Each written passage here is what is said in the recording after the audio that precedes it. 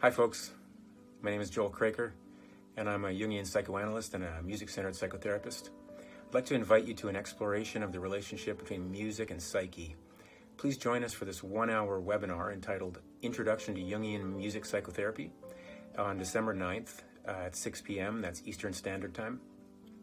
We'll explore the relationship between dreaming and the musical field and also how to recover some of what's been lost through our own musical wounding uh, resulting in experiences of depression, anxiety, grief, and even trauma.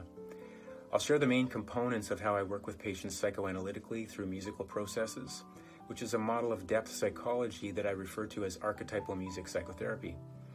You'll get a document to take home and continue your own study, and a continuing education certificate, and of course, there will also be a video recording for those who can't make it. So, if music has ever been important to you in your life, or if you'd like to increase your understanding of the raw, untapped potential that music carries for human development, uh, please join us for this course, and uh, I'll see you there.